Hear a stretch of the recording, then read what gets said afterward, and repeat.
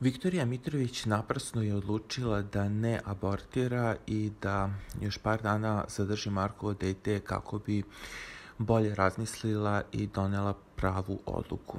Ona je rekla da jedino će abortirati iz straha, jer ne zna šta se desilo sa Mateom L. u Zagrebu. Viktorija je sedela sa Dijom Kostić u dvorištu Krepazena i diskutovali su da li je beba koju Viki čeka muško ili žensko.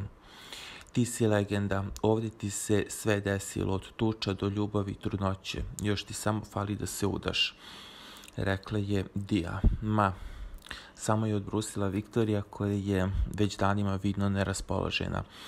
A je li muško ili žensko, kad se to vidi, pitala je Dija, na što je Viki odgovorila da se to još uvek e, ne može e, videti i da je za takve stvari još uvek rano.